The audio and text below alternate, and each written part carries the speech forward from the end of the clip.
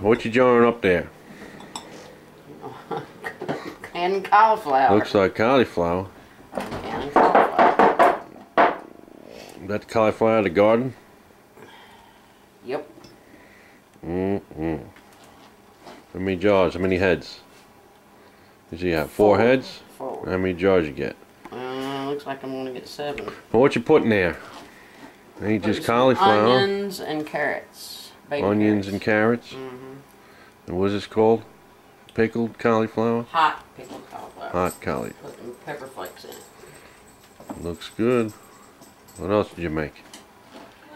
Um, so far we've got some pickles and some hot garlic pickles and getting ready to put some peaches in the Pickles out of the garden? Made Mm. blueberry freezer jam and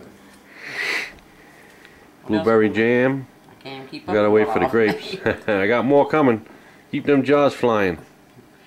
Be eating good this winter. Looking good. All right, YouTube. Say goodbye to YouTube. Bye YouTube.